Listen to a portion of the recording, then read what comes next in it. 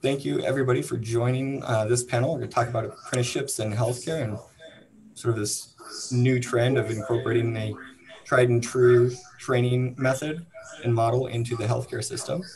Uh, today we have Cole Mack with us. He's from the Montana Registered Apprenticeship Program with the Department of Labor here in Montana. And we have Stephanie Galvin, who is an LPN with Community Health Partners out of Livingston. And then we also have Amanda Roper, who is the Talent Partnership Consultant at Centura Health out of uh, Denver, Colorado. And so just to start, um, and, and, again, my name is Luke Lavin. I'm the apprenticeship coordinator at Flathead Valley Community College. And to our attendees, our high school students, thank you so much for joining us.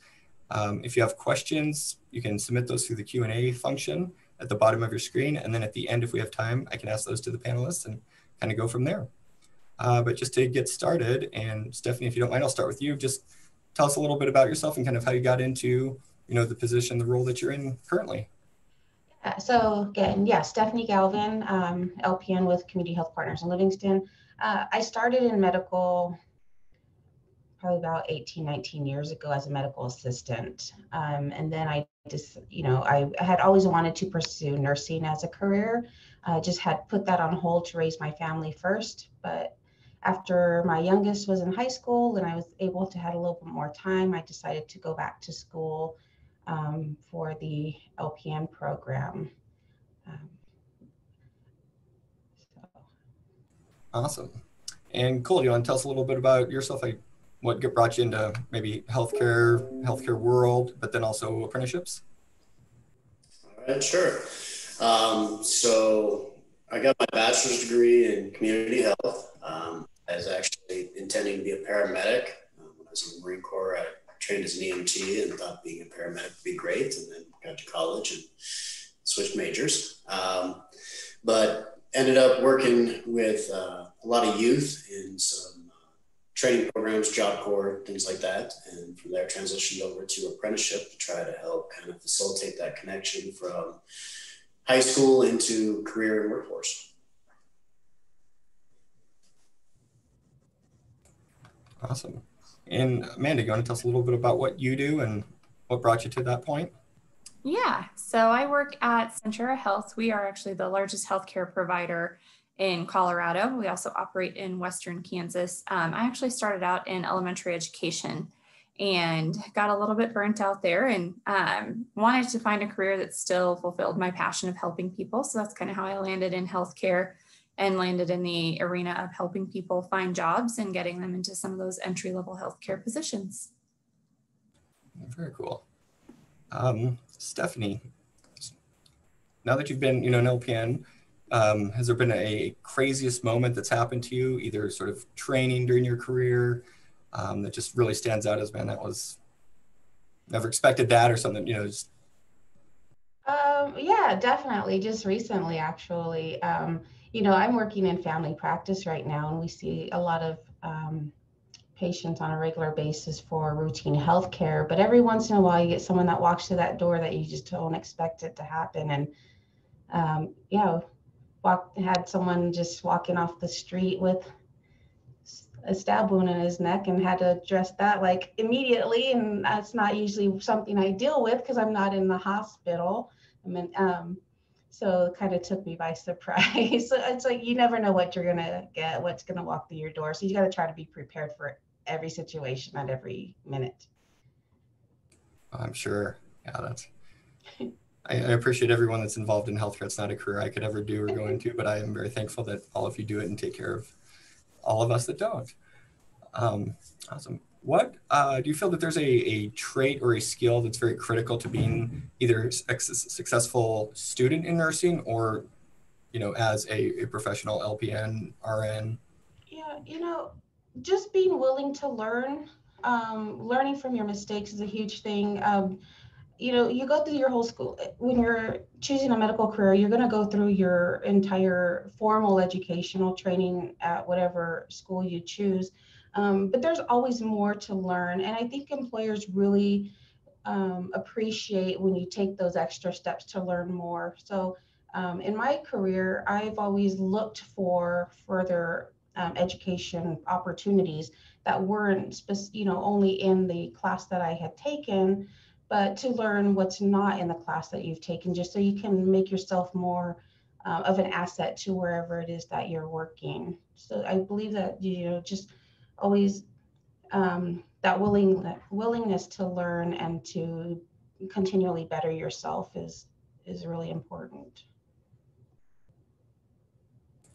Is there anything, Amanda, you'd want to add on to that that you've seen, whether nursing, medical assistants, surg tech, just you know, in terms of what makes a successful you know, healthcare employee from the employer standpoint?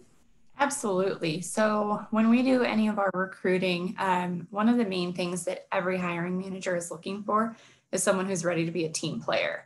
Um, being a part of a healthcare team, there are a lot of different people um, doing a lot of different things with any given patient. So, being ready to be a good listener and work with your teammates is something that we constantly look for and something that we always work with our current associates to even get better at. So definitely be ready to um, work with others and work well with others. Cole, is there anything you want to add to that that you've seen, you know, from the apprenticeship side? Um, you know, as Amanda and Stephanie stated, um, you know, the, being a being a good team member and being willing to learn. Um, we often refer to it as being coachable. So being able to take some some direction and at times uh, corrections and criticism in, in what you're doing. Um, understand that when you show up to a job, you're not going to be the expert day one. And even if you've been in an occupation for 20 years, you may not still not be an expert. There's always something you can continue to learn. Um, the other thing with apprenticeships, so apprenticeships are a combination of on-the-job training and education. So it's more than just going to work and kind of, as Stephanie stated, continue to you know find ways that you can learn, continue to look for different things that you can educate yourself on. And so with apprenticeship, probably one of the, the more challenging aspects is getting people to complete their coursework. Um, showing up to work, you're getting a paycheck. So a lot of people will do that. But if they don't complete the coursework, they're only completing part of it. They're not completing the entire program. So understanding that, the, you know, just because you have a job, you know, learning doesn't start when you, or doesn't stop once you start that position. You got to continue throughout your entire career. Okay, good to know. Do, do you mind, Cole, just taking a few minutes and just kind of walking us through what is a registered apprenticeship, the components of it, the, the pay scale? So an apprenticeship is going to be, the minimum apprenticeship is going to be 2,000 hours of on-the-job training. And that's essentially a year of full-time work. Um, for every 2,000 hours someone does, there's about 144 hours what they call required technical instruction. Now, the required technical instruction, it can come from a college, it can come from a trade school, it can come from a certification or certifying organization. Um, there's a lot of different models out there. And just because the bare minimum is 2,000 hours doesn't mean that that's where all apprenticeships stop. Um, some apprenticeships can take five or six years, depending on how in depth one wants to go and, and the occupation, what the requirements are to get licensed and certified in that. Um, but really, what apprenticeship is is it's a, a, earn while you learn model is what they call it. So you have a job. You're an employee first and a student second. That's kind of the difference between an apprenticeship and an internship.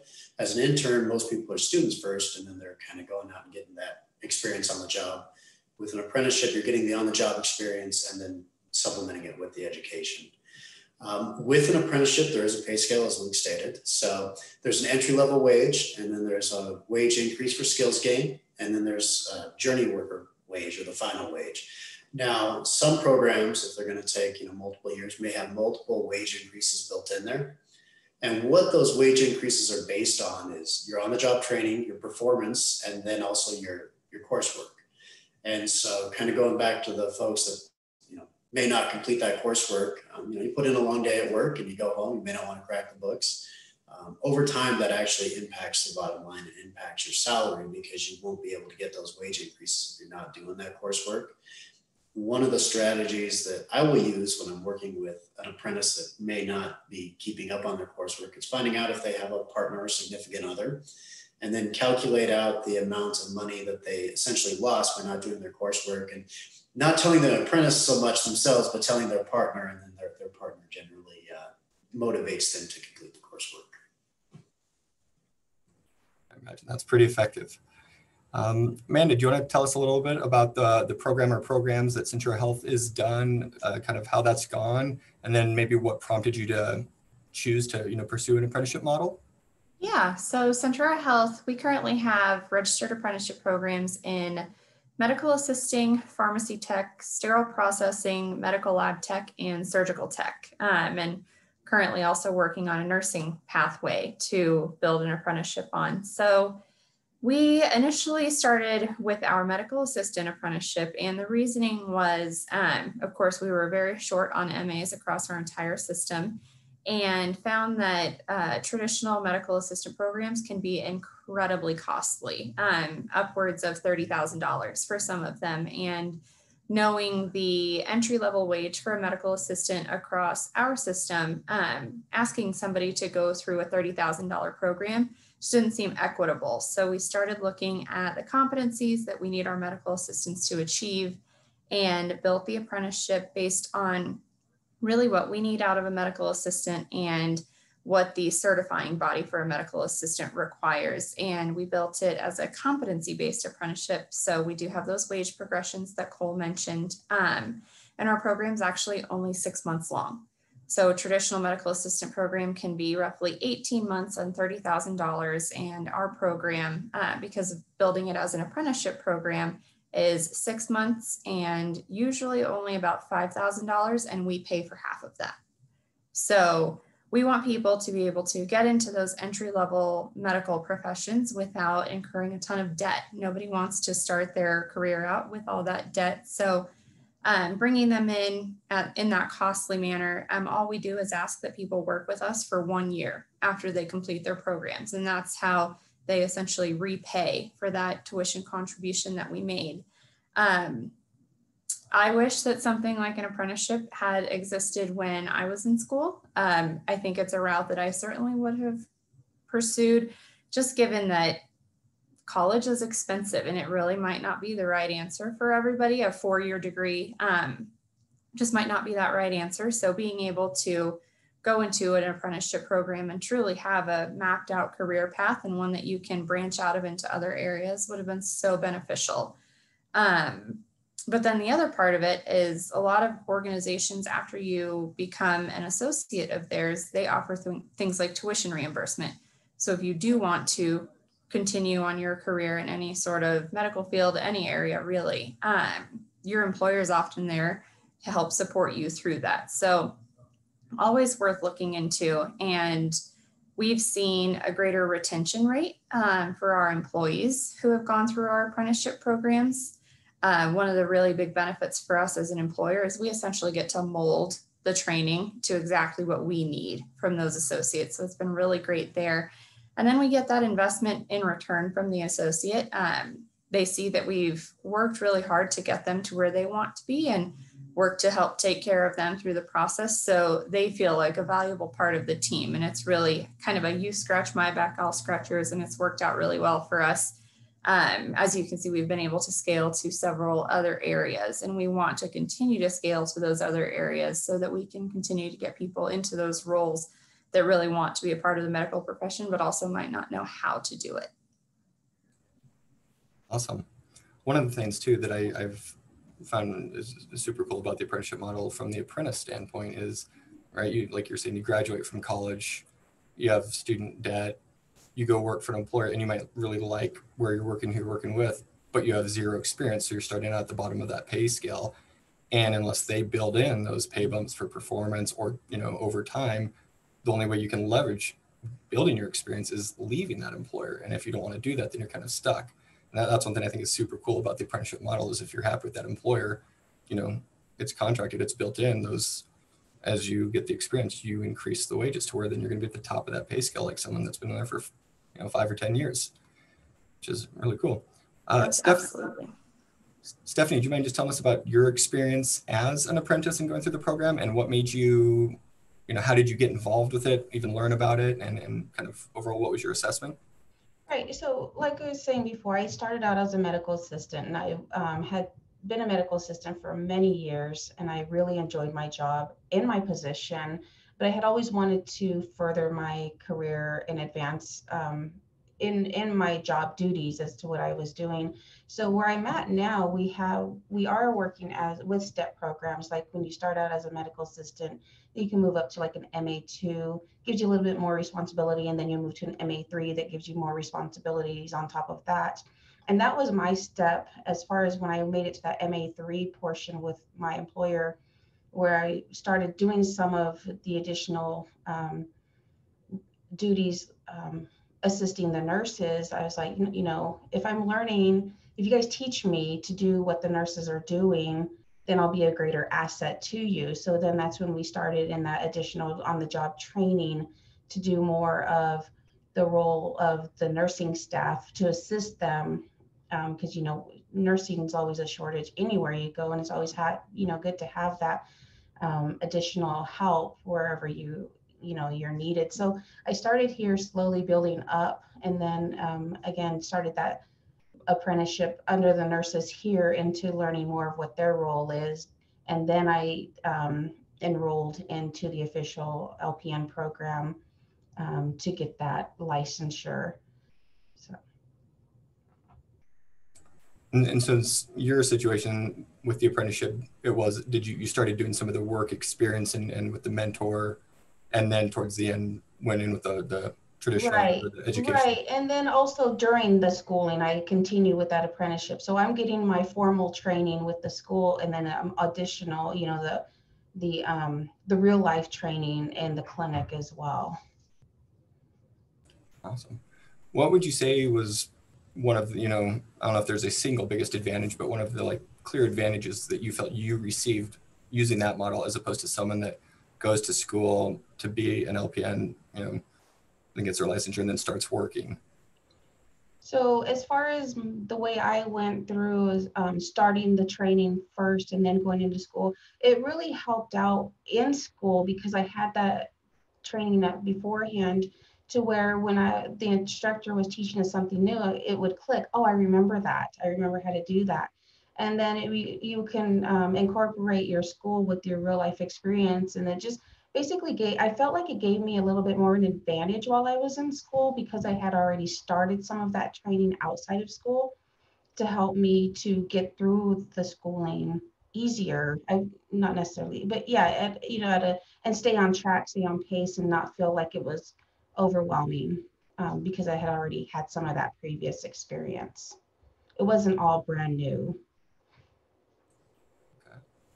Um, Cole or Amanda, if one of you want to take this question, what has been something that's sort of been surprising either as the employer, you know, implementing apprenticeship programs or, uh, you know, as apprenticeship specialist with the state of Montana, as people develop them that are maybe unintended positive outcomes of adopting the apprenticeship model?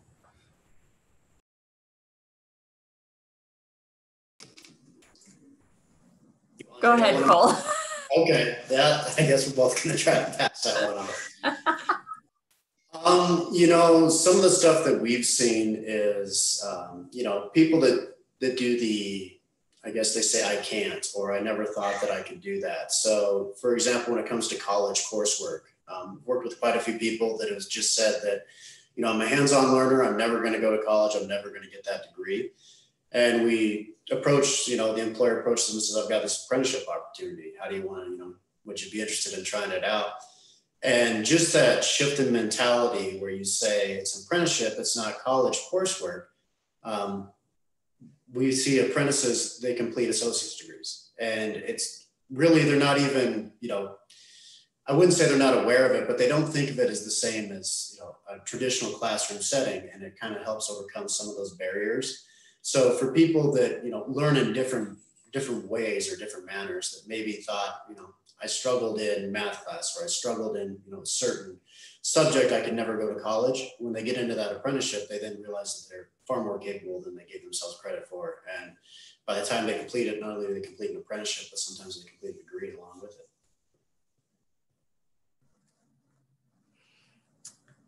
Now that Cole had a chance to talk, I had a chance to think. Um, one of the really positive unintended outcomes, um, we have created a far more diverse population of caregivers. And that population mirrors more far more mirrors the group that they're helping as well. Um, and it's been wonderful. It's been an opportunity for us to expand into different areas of care for different communities. So, really positive, really unintended outcome, but um, something that we continue to see grow with each of our programs. Yeah, that's wonderful. What uh, we have a few more minutes left, so I have another question or two, and then we can look and see if there's any from the high school students. But um, I just lost my place where I was with my questions. Um, what sort of advice would you give somebody you know that, that's interested in you know not just a career in healthcare, but also you know the apprenticeship model? Is there um, you know, if we want to talk a couple minutes about, you know, there are opportunities, whether it's youth apprenticeships or pre-apprenticeships for high school students to get engaged that way, but also maybe, you know, Stephanie, what classes would you, you know, highly recommend a high school student taking, whether that's medical terminology or maybe just experiences volunteering, getting a CNA license. Um, you know, so, so maybe start with you, Stephanie, and then Cole and Amanda, you can kind of pick up if you have any thoughts on that. Yeah, definitely. If if the high school students have the opportunity to volunteer or shadow a nurse or an MA in in clinic, definitely go for it. We did have that opportunity with one student here in our high school. She came into our clinic. Um, she was interested in medical and uh, followed our medical assistant around, you know, for an hour or so a day, just to kind of get a feel of how the clinic ran, and if that's really something she was interested in.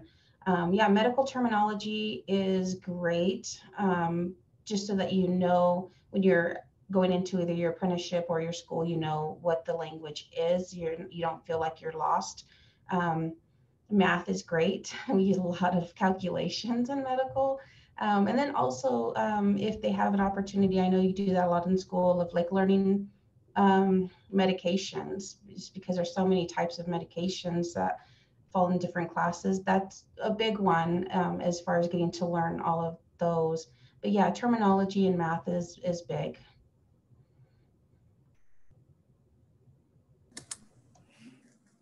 I just want to echo the volunteering piece that Stephanie mentioned. Um, a lot of times we will, we have a youth pre-apprenticeship program in our organization and a lot of times students that were dead set on a nursing career pathway get their first sight into something truly clinical and behind the scenes and realize they can't do blood, um, which is kind of an important part of nursing. So getting any sort of hands-on experience shadowing volunteering that you can so you can truly see the ins and outs of how it all works is so beneficial um, high school has also changed a lot since any of us were in school. Um, the course offerings are really diverse now. So just looking into some of those different courses that might not be your traditional electives or looking into concurrent enrollment courses. Um, those are huge into getting a better understanding of different parts of the medical field.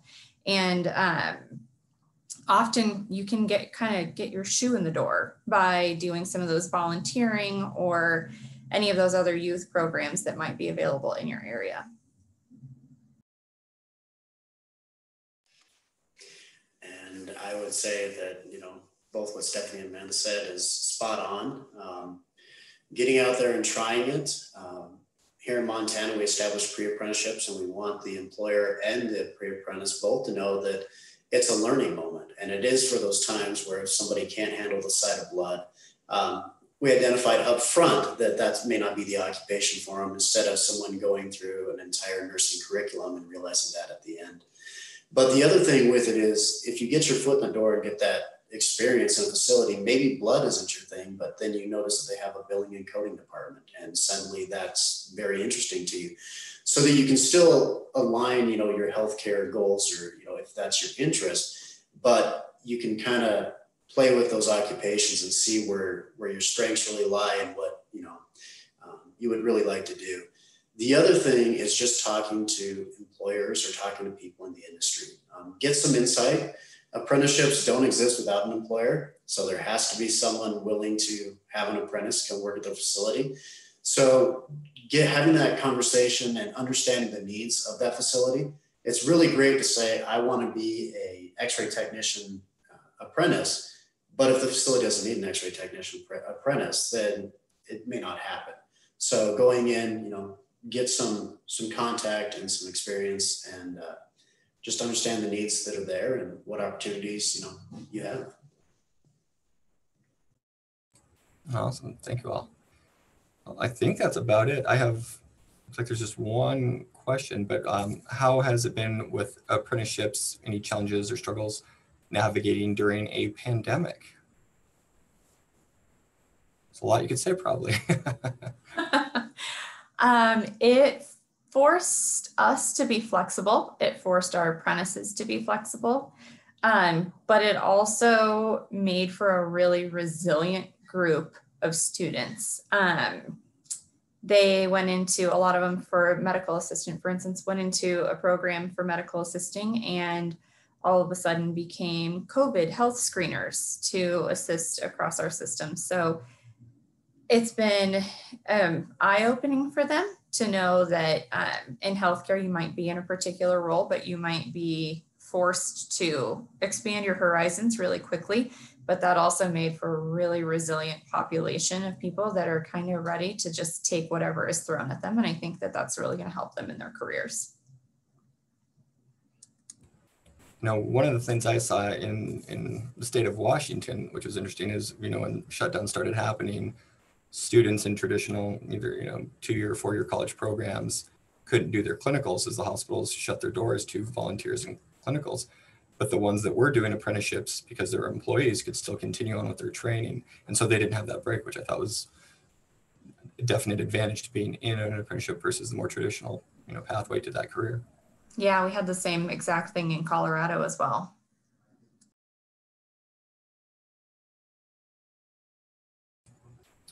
All right. Well, uh, unless anybody has any final thoughts or anything, you know, last nuggets of wisdom or anything they'd like to share, we can call it a day. I want to uh, thank our panelists for being a part of this and giving us your time today and sharing your thoughts on healthcare and apprenticeships. And uh, to our high school students that attended this, we hope you know you got something out of it. And if you have questions, you know, chat with your teachers. You can you know contact us at the college. Uh, you know, email the Montana Registered Apprenticeship Program. Um, Cole's based out of uh, Dillon, right?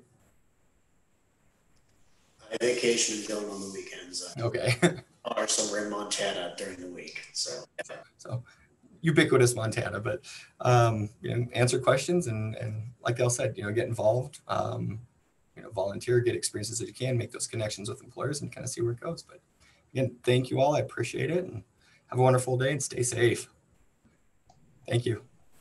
Thank you. thank you